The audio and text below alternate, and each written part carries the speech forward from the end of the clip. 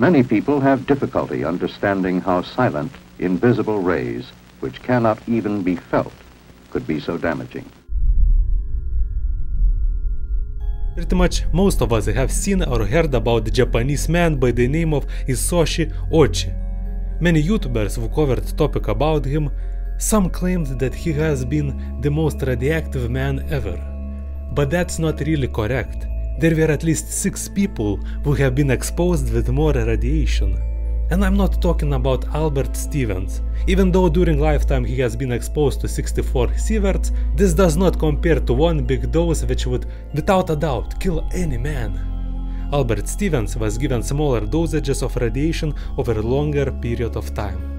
Hisashi Ouchi case is well known since it is one of the scariest stories regarding radiation exposure and scary not only because of the radiation, but also because of the fact that Japanese scientists kept him alive as long as possible. Considering the radiation dosage which was 17 sieverts, he shouldn't have lived for more than 14 days, but in the name of science they kept Ouchi alive for 83 days. Hisashi's family was also one to blame since they demanded that doctors revive him. I don't want to go deep into this topic, but he went through such a horrifying, painful experience that it is hard to comprehend.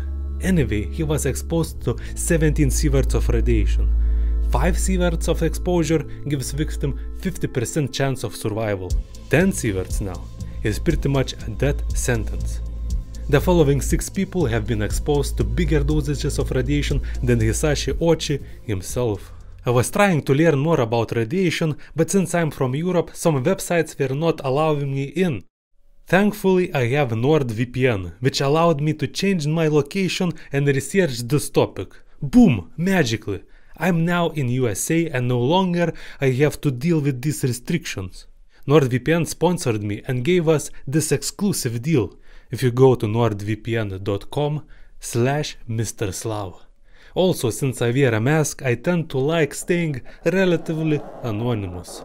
So using NordVPN, I can hide my IP address. It's not fun when internet providers know what you do. For me personally, I do a lot of research on some shady topics, so using this VPN I can be, let's just say, a suspicious dude from Japan, just with one simple click. Also, you can use it on a smartphone.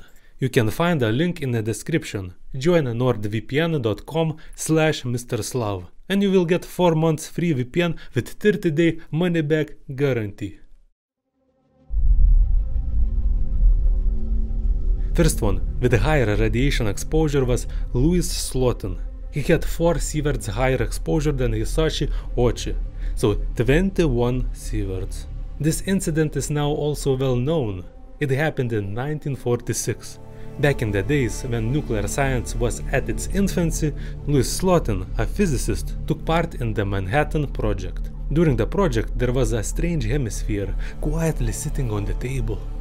And inside it there was this ball, ball made out of plutonium. You could touch this core with gloves, no problem. It would even feel warm.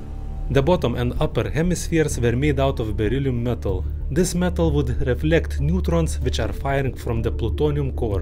One thing that would have been exceptionally dangerous would be to completely close those parts and seal the plutonium core. Hey, but isn't that safe? Shielding such dangerous object should make it safer. No, that would be exceptionally deadly. As soon as you seal the plutonium core, it starts to emit more and more neutrons, thanks to beryllium half spheres which reflect those neutrons back at the plutonium core.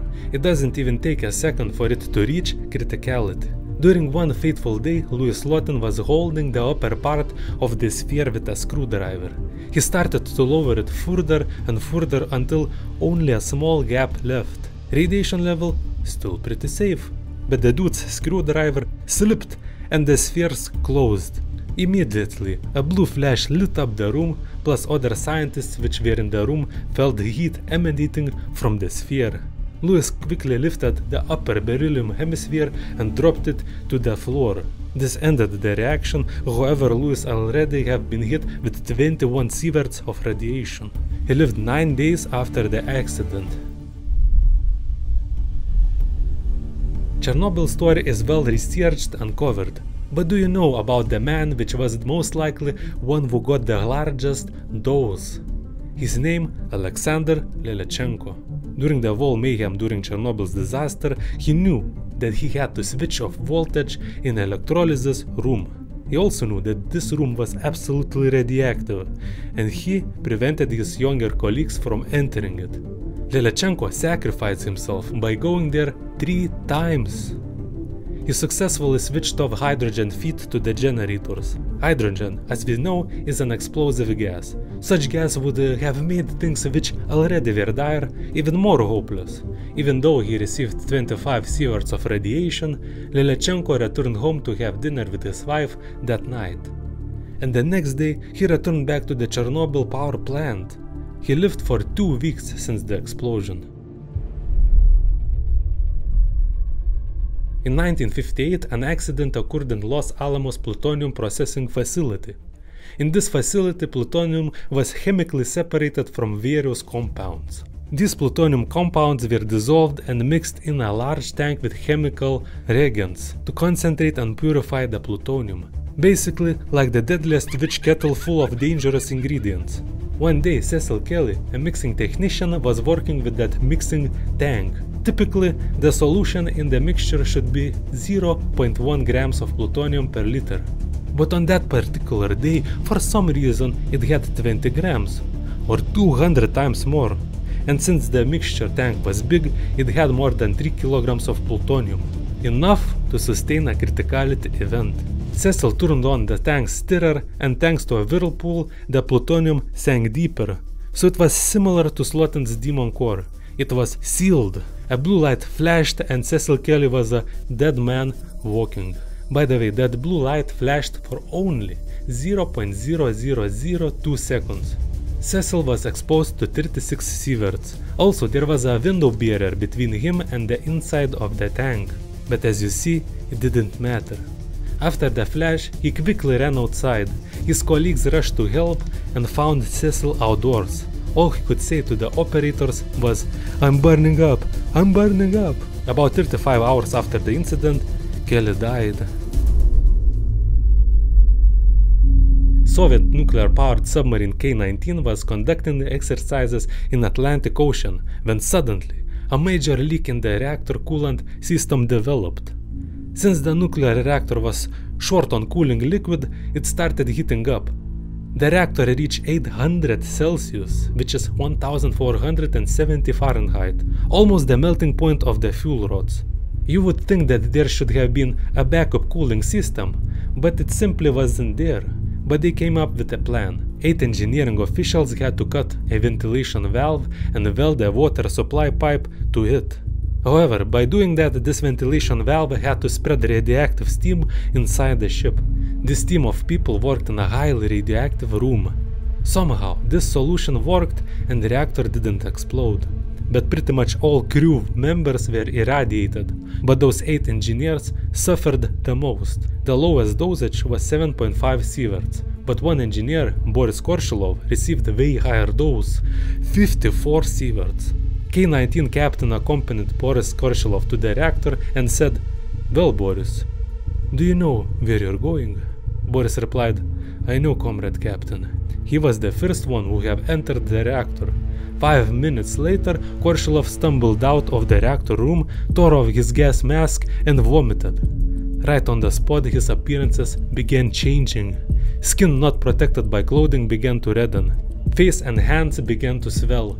Within two hours, they couldn't be recognizable. Engineers couldn't speak, just silently whispered, Kill us. Boris Korshilov, which received 54 sieverts, died six days later. It is hard to imagine, but uh, there are still two more men which experience even higher dosages of radiation than Boris Korchilov. This story is almost unknown. And it happened in 1971 at Kurchatov Institute of Atomic Energy. The Kurchatov Institute was at the heart of Soviet Union's atomic weapon program, so it was responsible for designing many nuclear reactors, including the Chernobyl's RBMK reactor. At early morning, workers have completed the experiments and were in the process of shutting it down. They had to drain water from the assembly place. This water worked as a moderator. It slowed or stopped nuclear chain reaction, so it has to be drained very slowly. But who knows? Maybe researchers were in a hurry to go home, but they drained the bloody thing way too fast. Uranium rods heated up, dropped on the ground, and created a criticality event. Of course, there was an infamous blue flash, then the rods quickly melted and the reactor ended. Even though this incredibly powerful radiation lasted for few milliseconds, one technician Vasilyev was irradiated with 60 sieverts. He was standing on the ground close where the uranium rods fell. He died a next day later from a heart attack. Also, another technician was on the floor and he got irradiated with 20 sieverts, so he also had more sieverts than Hisashi Ouchi himself. This story was kept secret for a long time, since there were rumors that during this event a radioactive cloud traveled to a nearby city called Moscow. This is by far the most irradiated man that we know of. It all happened in Wood River Junction nuclear facility. Similar to many other processing plants, it was used to recover highly enriched uranium from fuel element production. The safety standards were quite lacking at that facility. There were the special 11 liter plastic containers that would hold either concentrated uranium solution or trichloroethylene.